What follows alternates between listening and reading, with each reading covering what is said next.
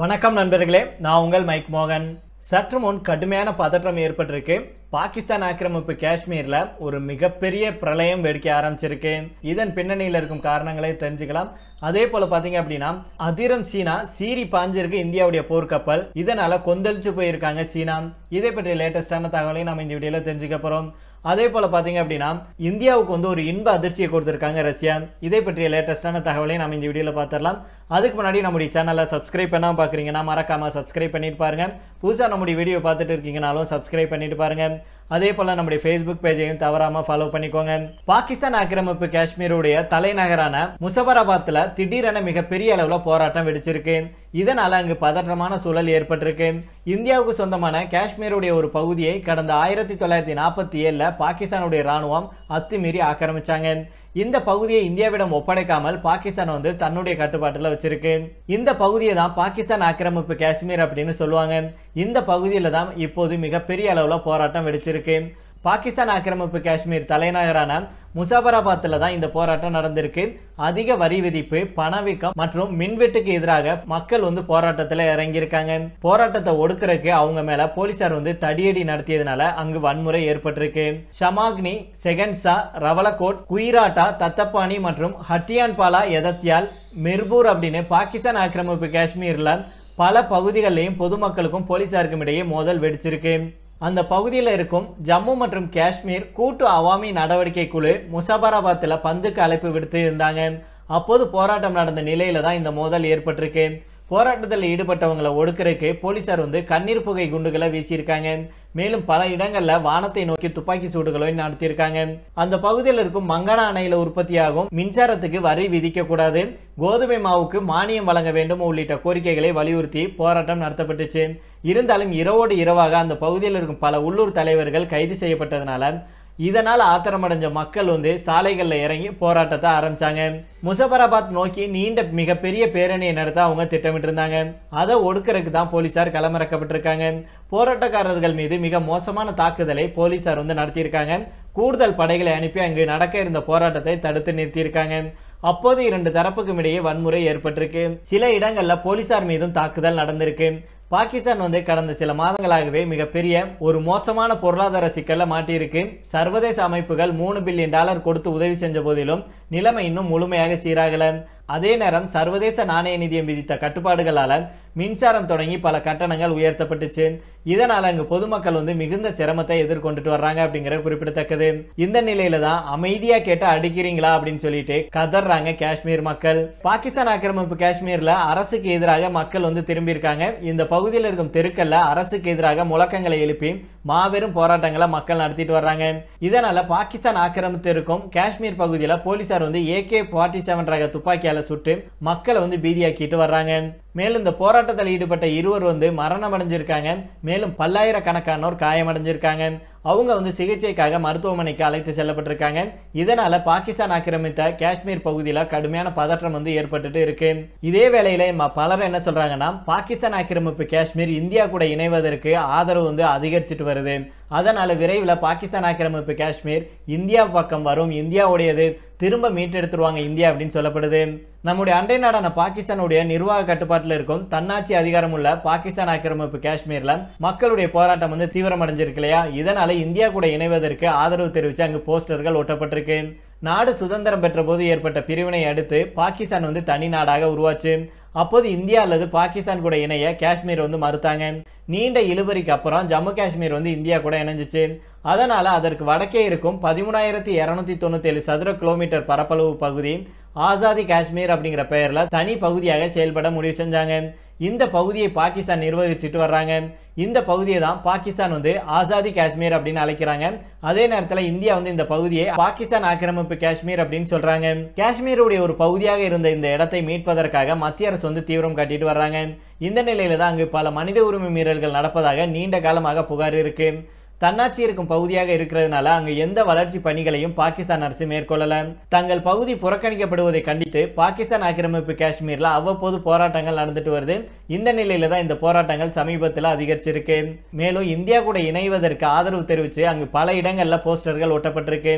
போராட்டங்களில் ஈடுபட்டுள்ளோர் பாகிஸ்தான் போலீஸ் வாகனங்களுக்கு தீ வைக்கும் சம்பவங்களும் நடந்துட்டு வருது. இதற்கிடையில தான் போராட்டக்காரர்கள் மேல கண்ணீர் புகை குண்டுகளை வீச உத்தரவிட்டார் ஆக்கிரமிப்பு காஷ்மீரின் உதவி போலீஸ் கமிஷனர் ஒருவர் போராட்டக்காரர்களால் அடித்து கொல்லப்பட்டிருக்கிறாரு.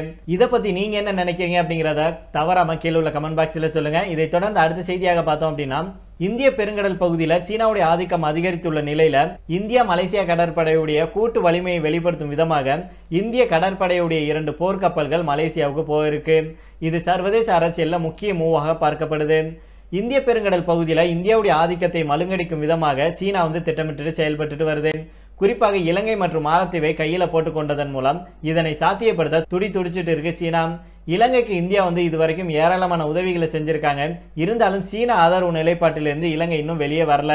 அதே போல தான் மாலத்தீவும். இந்த தீவில் சமீபத்தில் தான் அதிபர் தேர்தல் நடந்துச்சு. அதுக்கு முன்னாடி வரைக்கும் இங்கு இந்திய ஆதரவு அதிபர் தான் இருந்தார். ஆனால் இந்த தேர்தலில் சீன ஆதரவாளரான முகமது முய்சு புதிய அதிபராக தேர்ந்தெடுக்கப்பட்டார்.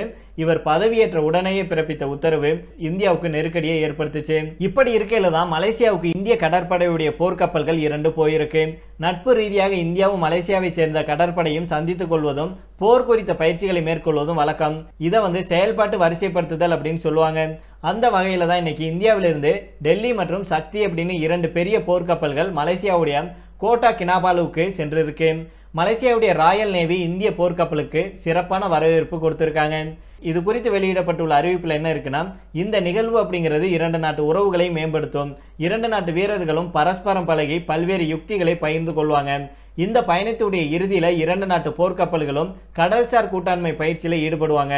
இது இரண்டு நாடுகளுக்கும் இடையிலான ஒற்றுமையை வந்து வலுப்படுத்தும் அப்படின்னு சொல்லியிருக்காங்க. இந்தியாவுடைய டெல்லி கடற்படை கப்பல் உள்நாட்டிலேயே தயாரிக்கப்பட்டது. அதே போல சக்தி கப்பல் வந்து விமானம் தாங்கிய போர்க்கப்பலுக்கு ஆதரவாக செயல்படும். இந்தியா மற்றும் மலேசியாவுடைய இந்த நடவடிக்கைகள் சர்வதேச அளவில் உன்னிப்பாக கவனிக்கப்பட்டு வருது. குறிப்பாக சீனாவால் கவனிக்கப்பட்டு வருது அப்படிங்கிற குறிப்பிடத்தக்கது. இந்த நிலையில தான் சீனாவுக்கு அதிர்ச்சி வைத்தியம் கொடுக்கும் விதமாக தன்னுடைய இரண்டு பிரம்மாண்டமான போர்க்கப்பல்களை மலேசியாவுக்கு இந்தியா அனுப்பியிருக்காங்க. இந்திய பெருங்கடல்ல மலேசியா கூட சேர்ந்து போர் தொடர்பான பயிற்சிகளை செய்வதற்காக இந்த இரண்டு போர்க்கப்பல்கள் மலேசியா போயிருக்கு. இந்த இருபத்தி ஒன்னாம் நூற்றாண்டிலையும் நாடு பிடிக்கும் ஆசையை கொண்டிருக்கும் ஒரே நாடு சீனா மட்டும்தான். ஏதோ மன்னராட்சி காலத்தில் இருப்பதை போல நினைத்து கொண்டு தனக்கு அருகில் இருக்கும் பெரும்பாலான நாடுகளிடமிருந்து அவற்றுக்கு சொந்தமான இடங்களை அபகரிக்க சீனா தொடர்ந்து முயற்சி செஞ்சுட்டு வருது. சிறு சிறு நாடுகளிடம் அதன் பாச்சா பழித்தாலும் இந்தியா கிட்ட அதனுடைய வேலை செல்லுபடி ஆகல. இந்தியாவுக்கு சொந்தமான அருணாச்சல பிரதேசம் லடாக் ஆகியவற்றை கைப்பற்றும் முயற்சியில ஒவ்வொரு முறையும் இந்தியாவிடம் குட்டு வாங்கி ஓடுவதை சீனா வழக்கமாக கொண்டிருக்கு. இந்த சூழலில் தான் இந்தியாவை சூழ்ந்திருக்கும் இந்திய பெருங்கடலை எப்படியாவது தன் வசம் கொண்டு வந்து விட வேண்டும் அப்படின்னு சீனா வந்து பல்வேறு நடவடிக்கைகளை எடுத்துட்டு வருது. இதுக்கு ஆதரவாக தனக்கு அருகே இருக்கும் இலங்கை மாலத்தீவு உள்ளிட்ட குட்டி நாடுகளை சீனா பயன்படுத்திட்டு வருது. சீனா கொடுக்கும் பெரும் கடன் தொகைக்கு ஆசைப்பட்டு அந்த நாடுகளும் அதன் சதி வேலைக்கு வந்து ஒத்துழைப்பு அளிக்கிறாங்க. இந்த நிலையில தான் இன்னைக்கு இந்தியாவுக்கு சொந்தமான மிக சக்தி வாய்ந்த போர்க்கப்பல்களாக கருதப்படும் இந்த டெல்லி மற்றும் சக்தியாகவே மலேசியாவுக்கு போயிருக்கு. இதில் இந்திய கடற்படை வீரர்கள் பல போர் நுணுக்கங்களை மலேசிய கடற்படை வீரர்களுக்கு கற்றுக் கொடுக்க உள்ளதாக கடற்படை வட்டாரங்கள் வந்து தெரிவிச்சிருக்காங்க. இந்தியாவும் மலேசியாவும் இணைஞ்சு போர் பயிற்சி மேற்கொள்வதும் அதற்காக இரண்டு பயங்கர போர்க்கப்பல்கள் மலேசியாவுக்கு போயிருப்பதும் இந்திய பெருங்கடலில் யாரையும் ஆதிக்கம் செலுத்த விட மாட்டோம் அப்படிங்கிறத சீனாவுக்கு மறைமுகமாக உணர்த்துவதற்காகத்தான் அப்படின்னு சர்வதேச அரசியல் வல்லுநர்கள் வந்து சொல்றாங்க. இதைத் தொடர்ந்து கடைசி செய்தியாக பார்த்தோம் அப்படின்னா ரஷ்ய நிறுவனங்கள் இந்தியாவிலிருந்து ஆயுதங்கள் உள்பட நாலு பில்லியன் டாலர் அதாவது முப்பத்தி மூணாயிரம் கோடி ரூபாய் மதிப்பிலான சரக்குகளை டாலருக்கு பதிலாக ரூபாய் மூலம் வாங்கியிருக்காங்க. ரெண்டாயிரத்தி இருபத்தி ரெண்டாம் ஆண்டு பிப்ரவரி மாதம் உக்ரைன் மீது ரஷ்யா போர் தொடுத்தாங்க. இதற்கு எதிர்வினையாக ரஷ்யா மீது அமெரிக்கா வந்து பொருளாதார தடைகளை விதிச்சாங்க. இதனால ரஷ்யா வந்து வெளிநாடுகளுடன் டாலர்ல வர்த்தகம் செய்வது சிக்கலுக்கு உள்ளாச்சு. இதற்கிடையில தான் ஏற்றுமதி இறக்குமதி வர்த்தகத்தை டாலருக்கு பதிலாக ரூபாயில மேற்கொள்ளும் முடிவை இந்தியா எடுத்தாங்க. முதல் கட்டமாக ரஷ்யாவுடன் ரூபாயில வர்த்தகம் மேற்கொள்ள முடிவு செய்யப்பட்ட நிலையில இது தொடர்பாக ஓஸ்ட்ரோ கணக்குகள் திறக்கும் முயற்சியில இரண்டு நாட்டு வங்கிகள் இறங்கினாங்க. ஓஸ்ட்ரோ கணக்குகள் மூலம் இந்திய இறக்குமதியாளர்கள் அவர்கள் செலுத்த வேண்டிய தொகையை ரூபாயிலேயே செலுத்த முடியும். அதே போல ஏற்றுமதியாளர்கள் அவர்களுக்குரிய தொகையை எதிர்நாட்டிலிருந்து ரூபாயிலேயே பெற்றுக்கொள்ள முடியும். இந்த பரிமாற்றத்திற்காக தான் ரஷ்யா வந்து ஓஸ்ட்ரோ கணக்குகளில் எட்டு பில்லியன் டாலர் மதிப்பிலான தொகையை இருப்பு வச்சிருந்தாங்க. ஆனால் இந்திய ரூபாய்க்கு சர்வதேச மதிப்பு இல்லாத நிலையில் இந்தியா கூட ரூபாயில் வர்த்தகம் செய்வதை ரஷ்யா தொடரல. இதனால் ஓஸ்ட்ரோ கணக்குகளில் இருந்த பணம் செலவிடப்படாமல் அப்படியே இருந்துச்சு. இந்த சூழல்ல தான் தற்போது ரஷ்ய இறக்குமதியாளர்கள் இந்தியா கிட்டேருந்து ஆயுதங்கள் உள்பட நாலு பில்லியன் டாலர் மதிப்பில் பல்வேறு சரக்குகளை ரூபாயில் வாங்கியிருக்காங்க.